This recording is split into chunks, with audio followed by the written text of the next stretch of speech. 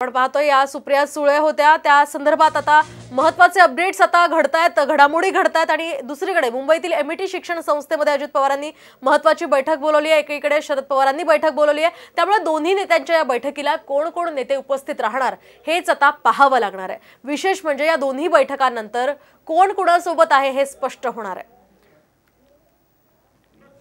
आणि याच संदर्भात आमचे प्रतिनिधी सूरज मसूरकर हे थेट जोडले गेलेले आहेत. सूरज काय सांगाल? खरं तर आता राष्ट्रवादीच्या सगळ्या या आमदारांची सत्व परीक्षा आज होणार आहे. त्याच पार्श्वभूमीवर दोन्ही गट प्रयत्न करतात काय सध्याचे अपडेट्स मिळत आहेत अ, मोहिनी आपण सध्या आहोत एम ए टी कॉलेज इथे जिथे अजित पवार गटाची बैठक आहे. एका ठिकाणी शरद पवाराची शरद पवार यांच्या गटाची बैठक आहे. आणि आज जिथे आपण इथे उभं आहोत तिकडे अजित पवार गटाची बैठक सुरू आहे. कार्यकर्ते यायला सुरुवात झालेली आहे. सूरज चव्हाण म्हणा किंवा मग सुनील तटकरे म्हणा यांनी यायला सुरुवात केलेली आहे.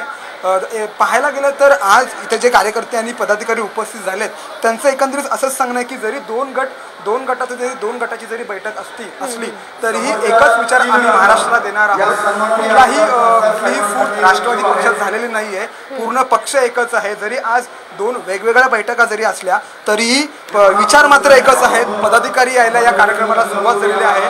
वेगवेगळ्या जिल्ह्यातून पदाधिकारी बँड्रा येथील एम ई टी या कॉलेजमध्ये यायला सुरुवात झालेली आहे.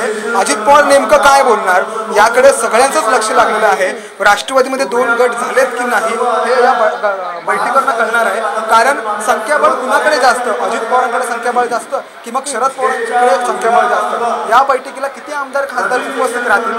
हे आता यावरूनच कळणार आहे मोहित. नक्कीच सूरज आपण जर पाहिलं तर या ठिकाणी अजित पवार गटाकडून एक दावा करण्यात आलेला होता की पंच्याण्णव ते अठ्ठ्याण्णव टक्के जे आमदार आहेत त्यांचा पाठिंबा आम्हाला आहे. त्यामुळे या आमदार नेमके कोण आहेत त्यांची नावं अजून प- पर्यंत कळू शकली आहेत का?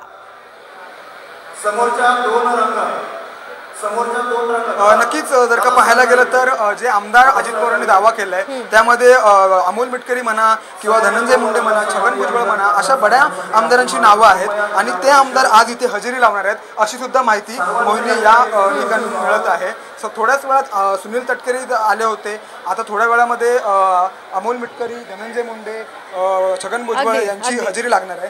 आणि या बैठकीला मोठ्या नेत्यांची हजेरी आहे. म्हणजे